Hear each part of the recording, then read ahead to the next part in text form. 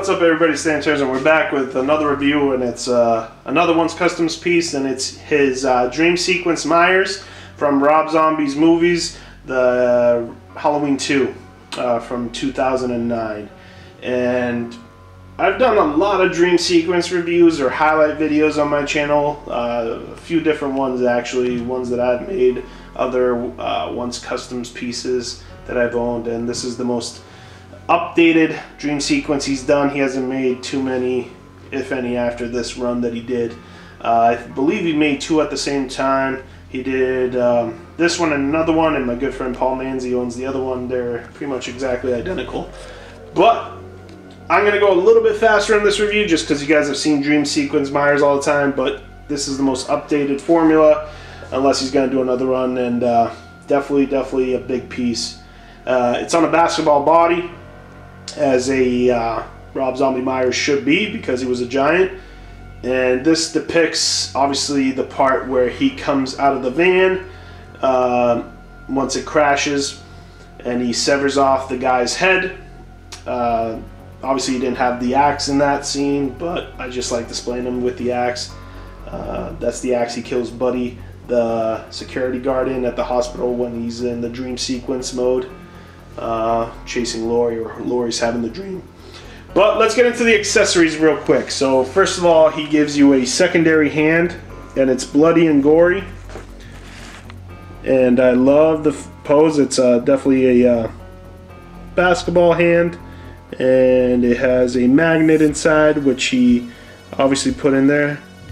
So, and the cool thing is, so you can take the secondary accessory of the severed guy's head, which look at all that detail.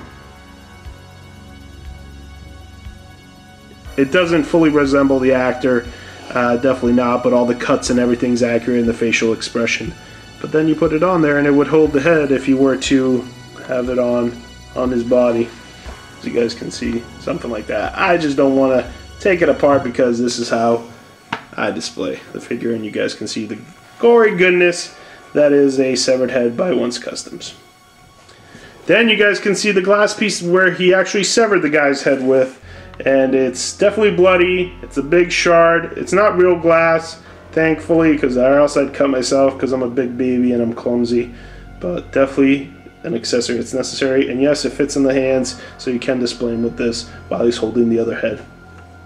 And then you have a sculpted base, which obviously it's a base of the road because you have the lines, the separating lines that would be in the middle of the road. And it's fully sculpted, has blood, uh, concrete look. I think he killed it, and I think it's a really awesome, awesome look. As you guys can see, the COA, Rob Zombie, Bloody Michael, six skill custom figure by Montwain Gonzales, always calling him by his government, and it is a 2019 run. So this is the last time he's done a dream sequence that I know of, unless he it was something was made as a private commission. But publicly, this is the last time he's tackled it. Now let's start from the figure from the boots up. As you guys can see, these boots are not the ordinary boots you see being used, uh, which I like. They're definitely uh, pretty accurate. I love the weathering on them and the stress uh, creases.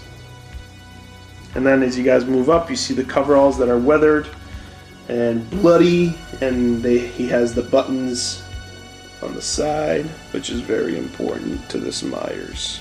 You guys can see. And I love the bagginess and how it drapes over the figure. Now, in the movie, I would say my critique is the movie coveralls were actually a darker brown, but that's alright. Ones Customs has his take on it, and uh, we don't know what material was available at the time that he was making this. So this is definitely an accurate depiction, just, you know, a little bit conceptualized. But moving up, you guys can see the bloody axe with the bloody hands. Absolutely awesome work. Uh, I believe it's an outsourced axe, but I'm not too sure. He could have made it. Uh, but definitely goried up by him and definitely customized by him. Absolutely awesome look. And then you have the pockets. Uh, and those are very accurate. And uh, some of you guys might be saying, "Oh, where's the chest piece patch and the patch on his left arm?" Yeah, in the second movie he didn't have it. That was only the first one. That's one detail they didn't put in the sequel. So it's actually very accurate. So Mount got you on that one. And then you guys can see the zippers. Very good uh, attention to detail and uh, accurate bloodied up and browned up undershirt. And then the greatest dream sequence sculpt of all, Ones Customs Dream Sequence Rob Zombie head sculpt, which I absolutely love. It's bloody, it's accurate, and it's mean. And I love how it's stylized. So definitely, definitely, he makes the best hobos and dream sequences and Myers on the planet. But I do absolutely love it. Uh, we've tackled, it, as you guys seen, uh, uh, the head sculpt that we made at Rotted Figures. Still a project that we're doing. We're doing a second version, but still, love Ones Customs. I think he's king with the Myers. Then I'm going to give you a quick shot of the back because it's got all the accurate folds, stitching, pockets, hammer loops. It's all correct. This figure's going to fucking fall. Oh my god. And there you guys go.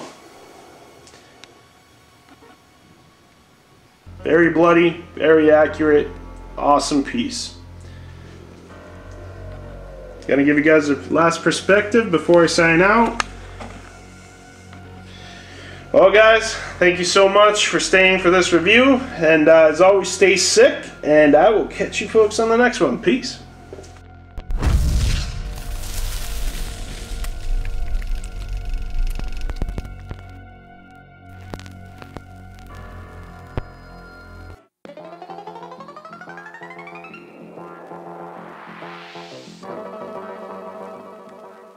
What's good? It's your boy One coming at you once again.